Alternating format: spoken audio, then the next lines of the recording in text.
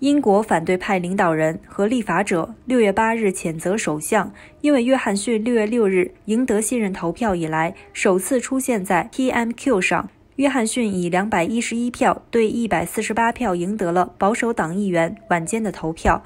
这足以避免不得不立即辞职。但他的党内发生了比预期更大的叛乱，这让他受伤，并为重新赢得同事和公众的信任而战。当工党议员伊格尔询问约翰逊自己的后座议员不信任时，国家如何信任他时，首相说他到处挑起政治对手。再有报道称，政府正在寻求六月九日公布立法，允许部长们修改北爱尔兰议定书部分内容后，约翰逊表示这些报道并不正确。